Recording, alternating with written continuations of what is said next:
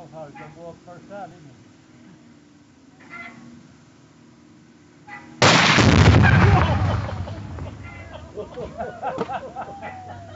Holy crap.